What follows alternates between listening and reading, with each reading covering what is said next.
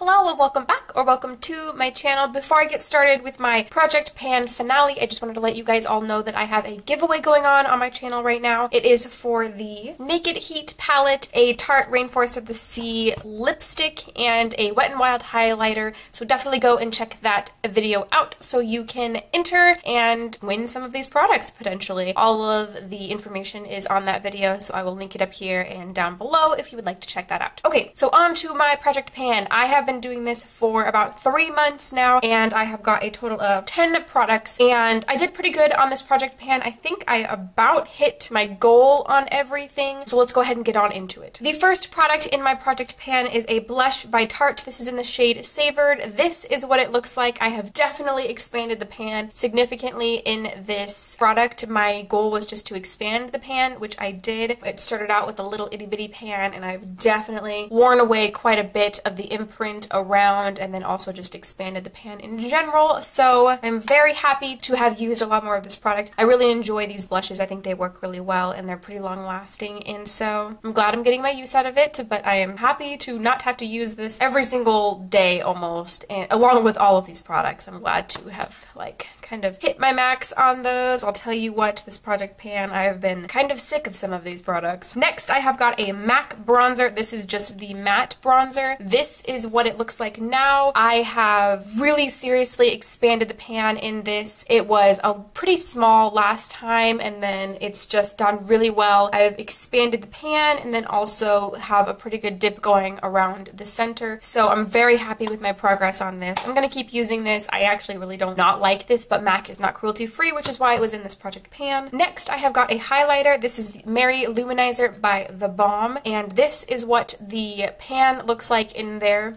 My last update, I just had a little teeny tiny pan, and I had just hit it, so, I mean, this isn't a lot of progress, but there is a lot of product in this, and it took a lot to get there. This is like the only highlighter that I've been using, except sometimes an eyeshadow, but I am very happy with this, and I'm not in any hurry to get this out of my collection. I'm pretty sure The Balm is cruelty free and so I, this is one of my favorite highlighters. I really like it but I'm very happy with my progress. Next, I have got a primer by Hourglass. This is the Mineral Veil Primer, and let's see. So on the side, this is where um, I started, and then this was my second update, and now it's finished. I took a little spatula thing, got in there, swiveled around, and got as much as I could out of there, and I enjoy this primer, but I don't find that it does amazing things for my skin. NYX has an Angel Veil Primer that is extremely similar, but like a fraction of the price, so I don't know that I would would repurchase that, but it was it was fine. It was a perfectly fine primer. Next, I have another primer. This is the Urban Decay Optical Illusion Complexion Primer, and let's see, this is where I started my update. I was like here-ish. I don't, for some reason, have that line. And then now it's finished up. I actually really liked this primer. I may repurchase it when I run out of some of the ones that I have, but this is all finished up. Next on my list is the Laura Mercier Translucent Powder. I had some of this left, but I ran out quite a while ago and I've just been using my RCMA No Color Translucent Powder and there's not really much to see. This is this is used up and this is empty and I will not repurchase because Laura Mercier is not cruelty free. Next, I have an Urban Decay All Nighter Makeup Setting Spray. I used this up, I think, before the first update and it's fine. I have a backup, but that one, that little travel size is used up. Next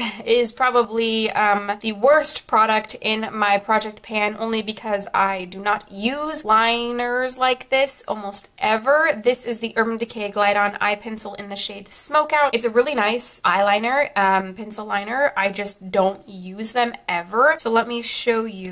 So here is my sheet of paper. Here is where I started, my first update, my second update. I think I maybe used this two times during this last, between this last update and this one right now. And so it just, I just don't use them. I was really hoping that putting it in this project pan would make me use it more, but it just, it just didn't. So, I mean, I'm kind of disappointed in myself, but th there was only one product that I really had problems with and it was this one. So what do you do? You just, sometimes you just, you just don't do the greatest and that's fine. This next product, however, I did really good on. This is the NARS a satin lip pencil, I think, in the shade Rikugien. So back to my little sheet. So here is where I started. Here was my first update and then here was my second update. I didn't, I mean, I didn't do quite as good as I did between the start and the second update, but I still, I still got some really good progress out of it and I actually don't even know how much more I'll be able to sharpen this. So I don't really know how far down the product goes, but I enjoy this and it's almost gone. So I'm glad that I got my use out of it and will be sad to see it go because NARS is no longer cruelty free, but I'd rather use it up while it's still good. Alright, and my last product in my project pan is the Lorac Pro 2 palette. So let's open her up. So I really worked on the shades that were from here up. These shades are a little bit darker. I used sometimes charcoal and silver and chrome, but not too often. So my goal with this palette was to expand the pan in buff and beige and to hit pan in the shade Snow, Rose,